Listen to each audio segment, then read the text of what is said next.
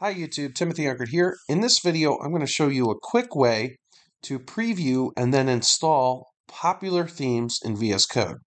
So the keyboard shortcut for this is Control K, Control T.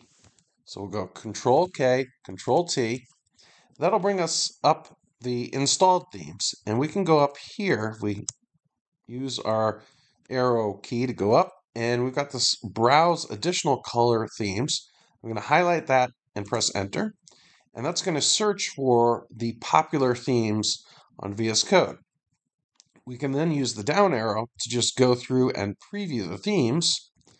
And when we find a theme that we want,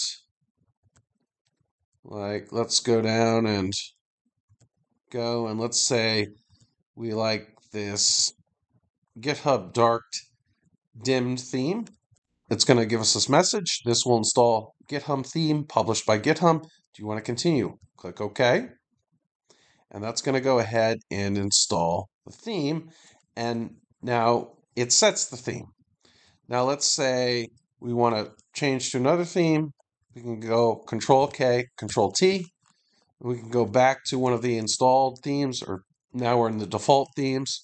Or we could go back up to the top here and again search for additional themes.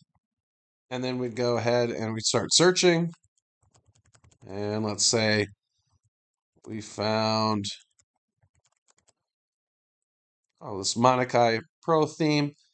Let's try that. That's a paid one, but um, there's plenty of free ones here. Let's pick a free one, actually. Let's say we want to do One Dark Pro. Click Enter.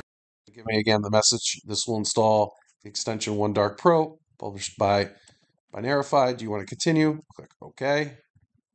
And some of these that ask if you trust the publisher. This is a new thing that's appearing in this latest version of VS Code. If you watch this a lot later, it may have been around for a long time. I'm going to click Trust Publisher and Install. Obviously, you want to check out what extension you're installing and make sure that you can trust that particular uh, extension, um, and, and you know keep up to date. Make sure the extensions aren't having any security issues and those kind of things.